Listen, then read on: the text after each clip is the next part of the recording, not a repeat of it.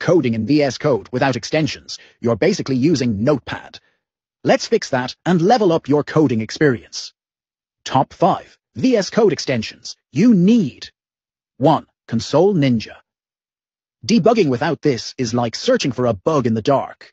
Blindfolded. This extension gives you cleaner logs, better error tracking, and saves you from endless console.log spams. 2. Auto Rename Tag. Ever changed an HTML tag and forgot to update the closing tag? Boom. Broken layout. This extension automatically renames closing tags, saving you from tedious manual fixes. 3. CodeSnap. Want to show off your code on social media? Instead of ugly screenshots, CodeSnap makes them clean and aesthetic in just one click. Perfect for Twitter, LinkedIn, or even flexing in your group chat. 4. Easy Icon Theme. Tired of boring, default file icons?